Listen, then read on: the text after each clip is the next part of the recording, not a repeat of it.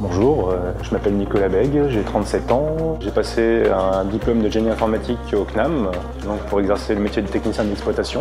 On peut avoir des demandes de nos responsables, on peut avoir des, des- des demandes à traiter euh, via nos outils euh, que tous nos collaborateurs peuvent nous faire parvenir.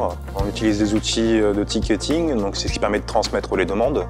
Aussi donc la messagerie, euh, Outlook, Office 365, que tous nos collègues actuellement utilisent. On a des outils de surveillance. Euh, moi pour ma part, je suis responsable du monitoring, donc euh, on doit euh, manager et surveiller toute l'infrastructure technique qui est utilisée par, par Ankama.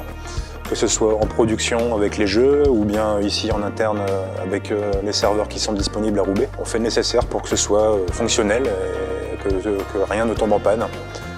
Du moins on essaye. Les qualités requises sont euh, de la persévérance parce qu'on doit avoir des tâches répétitives à, à effectuer, mais aussi euh, on peut se retrouver sur des projets qui peuvent être très longs. On doit aussi faire preuve de rigueur parce que nos collaborateurs dépendent de ces outils. Mon challenge dans le métier, c'est euh, de pouvoir donc traiter euh, ce qui arrive comme demande le plus rapidement possible, d'assurer la continuité du service, de faire en sorte que euh, tout fonctionne et que euh, pas de gros problèmes majeurs apparaissent. L'intérêt étant de pouvoir le faire assez rapidement pour que nos collègues puissent travailler. Mon métier, ben, c'est l'informatique, donc euh, c'est une passion depuis que je suis enfant. Chaque jour, je fais ce que j'aime, donc c'est ce qui me plaît.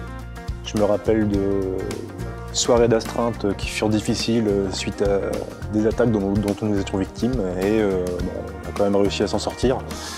C'était pas évident. Je pense que les joueurs peuvent comprendre que euh, des fois, euh, on doit faire avec ce qui se passe euh, sur, le net. Et on fait en sorte que ça, aille pour le mieux. Si je devais résumer ma mission en un seul mot, continuité. Parce qu'il faut que ça continue de fonctionner et que Ankama continue d'avancer.